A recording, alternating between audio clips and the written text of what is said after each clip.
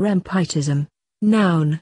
Also concept and ideology borrow from the Neo-Malay word rempit, a Malaysian phenomenon in which youth uses the public road system to break the speed limit with customized motorbikes in illegal, past midnight drag races that rob the restful sleep of peaceful citizens a phenomenon akin to a capitalist economy of a struggling showcasing third world nation such a Malaysia that hypermodernizes beyond the ability of its people to cope with its sensationalized designs of economic miracles.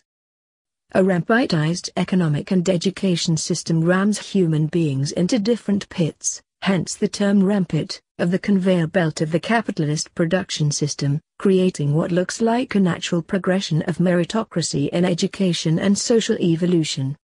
The foundation of this system is neocolonialism, structural violence and the alienation of labor. I wouldn't claim to fully comprehend the above definitions, so I'll provide my own layman understanding of it. We currently have a declining and clearly inadequate education system at all levels from primary to tertiary levels, as demonstrated by the illiteracy levels as well as the poor performance of our universities in all global rankings. At the same time, for the purposes of political expediency, akin to the egos of the Mat Rempits, we would still like to be seen as world class. Hence, to rempitize our education system is akin to the haphazard attempts to adopt modern and progressive-like Western attributes in an almost reckless manner, without fully contemplating the consequences for themselves, the public and the country's future.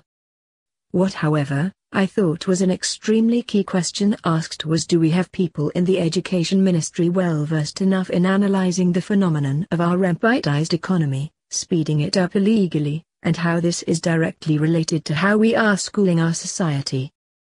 How do we deal with the leadership of the public education system?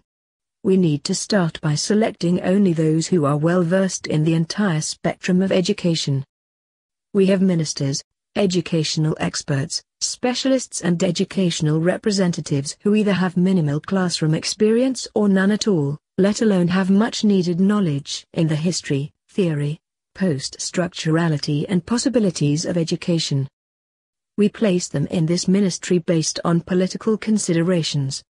They mess things up and show their inability to understand where our youth are heading, or how to design an education system good enough to reflect the dream we have, a dream of a just, equitable, environmentally sustainable, intellectual and ethical society.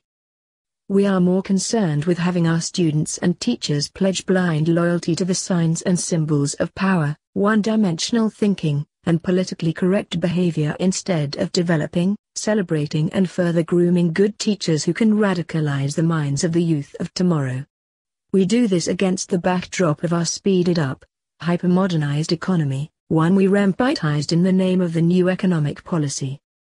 The question for us now is, how do we derempitize our society,